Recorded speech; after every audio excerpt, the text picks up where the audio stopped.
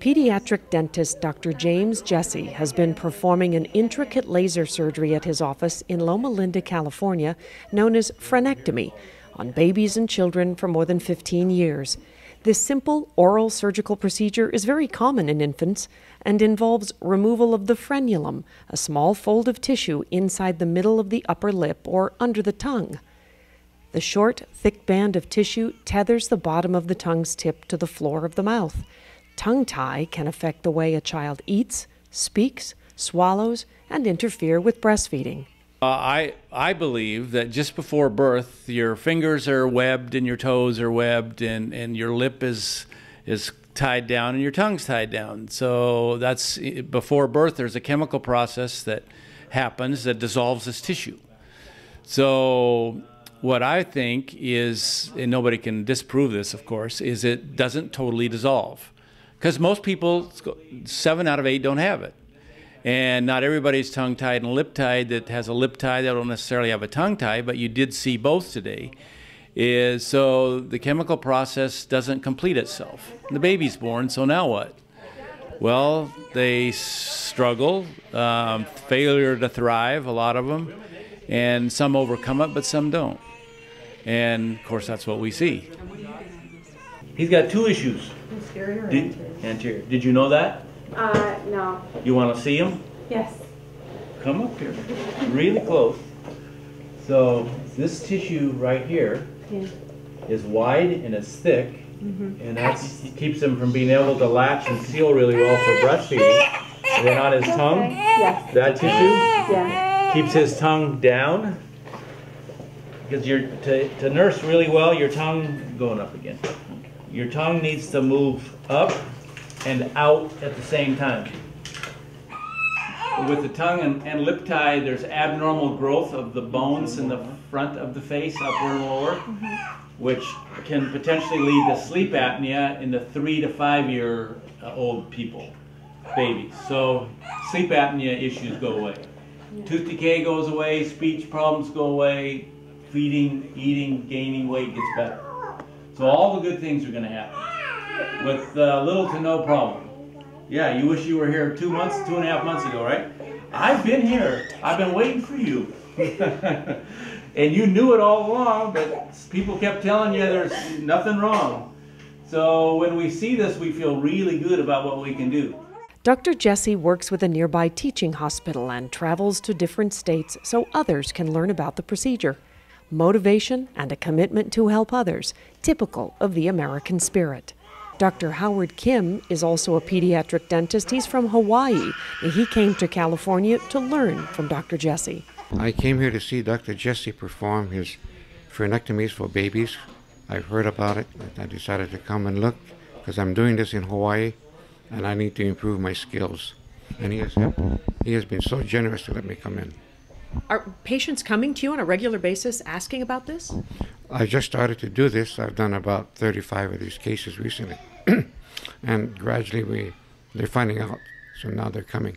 I've been to residency, never heard about it.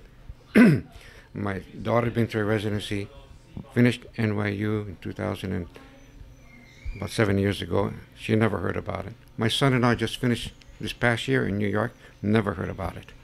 Wow. So this is just recent because I got the laser machine. The people have been coming to my office in Hawaii. Life changing for patients? Oh, such a thrill. Such a thrill to help these people. Dentists and patients have sought out Dr. Jesse from around the globe. Well, last year the farthest to see us was Beijing, China, just to have this done. And we had somebody from Austria. Uh, Hawaii is still the United States, but it's a ways away. And previous years, um, you know, Italy, Hong Kong, uh, Singapore, just everywhere. Why aren't they doing this in Singapore and Italy? And You know, uh, good, great question. Probably number one is dentists are afraid of babies. They don't understand what to do or how to do it, which is a good thing, so they shouldn't. And or they don't have a laser and don't know what to do.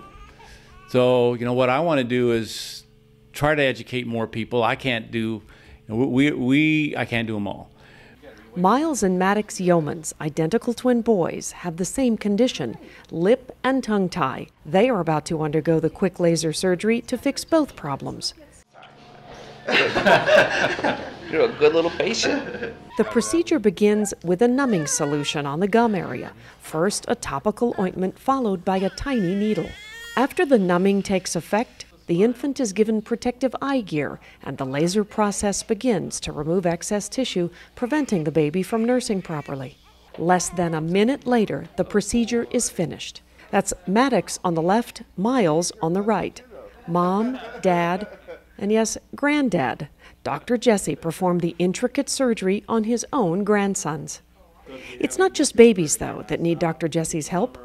13 year old Joseph, he is a big fan of basketball and cheeseburgers, but what he isn't a fan of is the big gap between his front teeth, a problem created by being lip tied since birth. When he was an infant, you know, we didn't really notice it because it didn't bother him. He didn't have any trouble feeding or anything like they say for some of the other kids. But as he got older and his teeth started to come in and there was the gap, and then we started noticing it. It's hard for Joseph to brush his teeth. Yes, it is. Yeah, and it's annoying when you do. The laser machine is powered up, and Joseph is ready for what his family and Dr. Jesse believe will be an immense difference in his dental health, appearance, and self esteem. Oh, we done? We're done. Okay.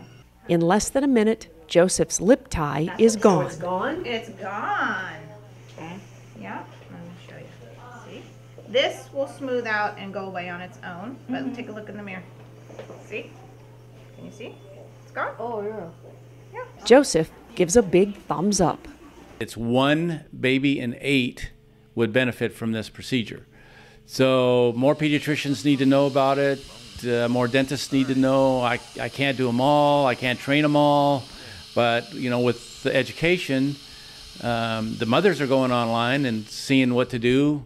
Is the physicians and dentists can easily do that too. Both a doctor and dentist can help parents decide what's right for their family and if a child's condition is serious enough to interfere with development.